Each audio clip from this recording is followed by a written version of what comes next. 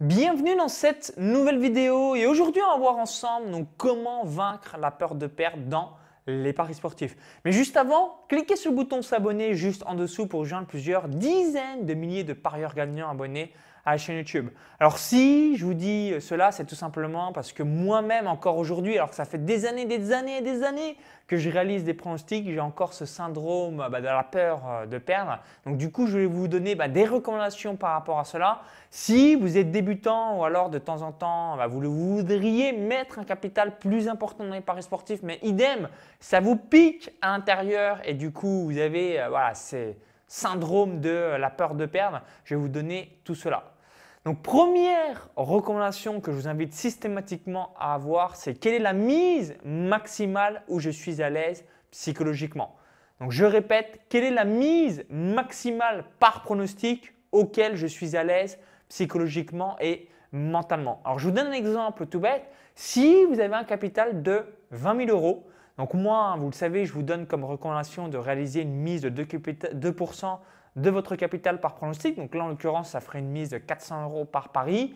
Mais si vous avez deux pronostics perdants consécutivement, donc voilà, vous démarrez la saison, bam, deux pronostics perdants consécutivement, vous vous retrouvez déjà plus qu'à 19 200 euros. Donc vous avez perdu deux paris à 400 euros. Donc finalement, ah, peut-être que vous dites mince, c'est un mois de mon loyer ou alors euh, c'est ce que je gagne en 15 jours, euh, des choses comme ça. Vous associez en fait le pourcentage de votre capital à des euros de votre vie euh, quotidienne.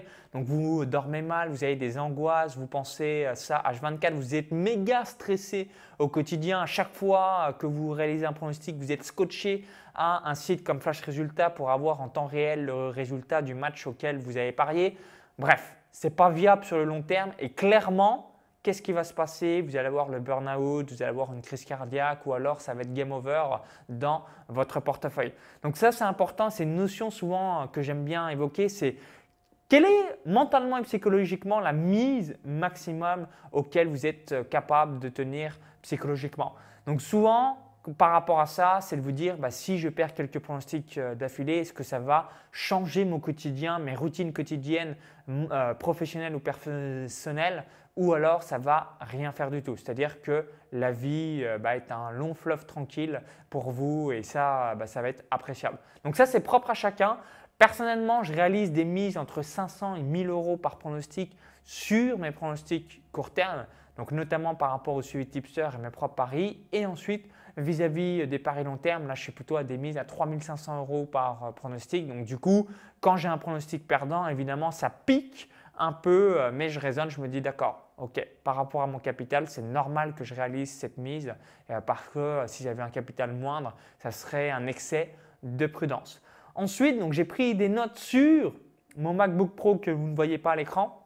La deuxième recommandation que je vous invite à prendre, c'est la sécurisation de vos pronostics. J'insiste et j'insisterai toujours sur cela parce que c'est ce qui fait la différence entre un investisseur et un parieur. Un investisseur, c'est quelqu'un bah, qui met en avant et en priorité numéro une son outil de travail qui est son capital. Et un parieur, il va parier euh, comme ça au casse-pipe et finalement, euh, bah, il va brûler son argent tôt ou tard parce qu'il a une mauvaise euh, gestion, donc un mauvais management de son Donc souvenez-vous, Paris, Paris chance double, pardon, Paris Asian Handicap, Paris Dronobet, Paris remboursé. en faisant ce quatuor de pronostics, ça va donc bien fonctionner pour vous.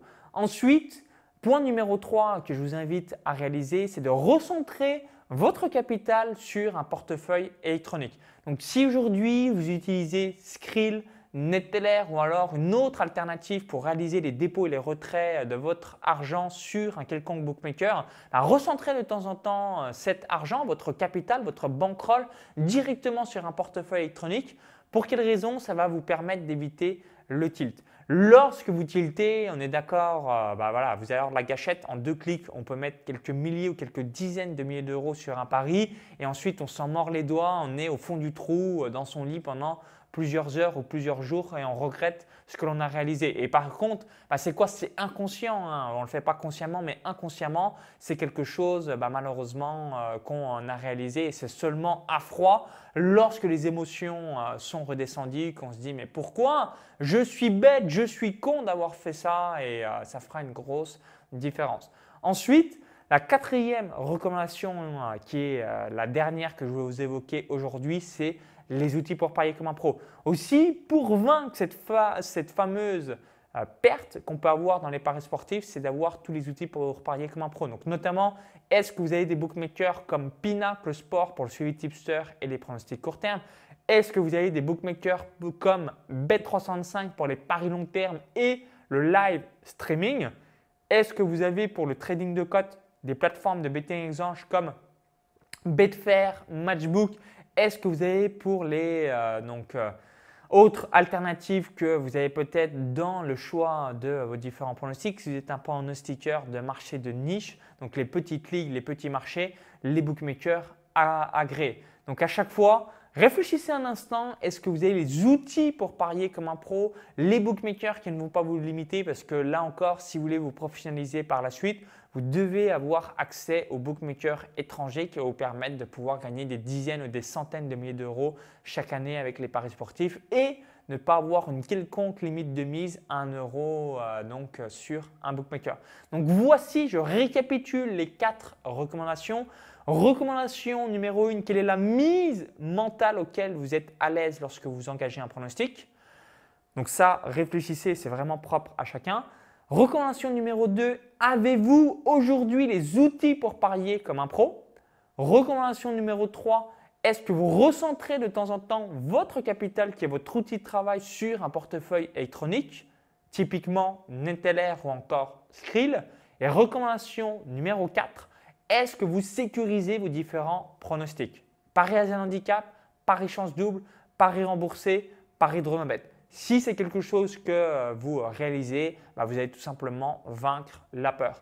Et en bonus, si vous avez vraiment très très peur de perdre de l'argent, vous pouvez soit bénéficier des bonus des bookmakers, comme ça, ça vous permettra de tester avec quasiment aucun risque, ou alors dans un premier temps, on va faire des mises à blanc, donc en mode fictif.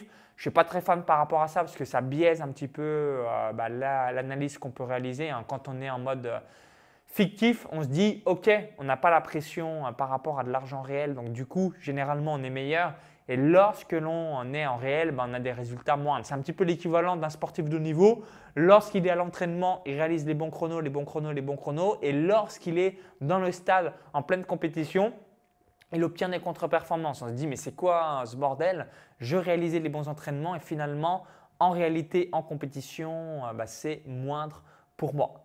Merci d'avoir suivi cette vidéo. Et vous, que faites-vous? Comment faites-vous par rapport à la vaincre, euh, vaincre la peur dans les paris sportifs? Donc laissez-moi votre retour d'expérience dans les commentaires juste en dessous. Si vous avez apprécié la vidéo, cliquez sur le petit bouton like. Une nouvelle fois, merci par avance. Partagez la vidéo. Merci pour tout. Pour vous remercier d'avoir visionné cette vidéo, je vais vous offrir un cadeau de bienvenue. Donc ce cadeau de bienvenue, c'est une formation offerte où j'explique quatre stratégies pour gagner de l'argent dans les paris sportifs.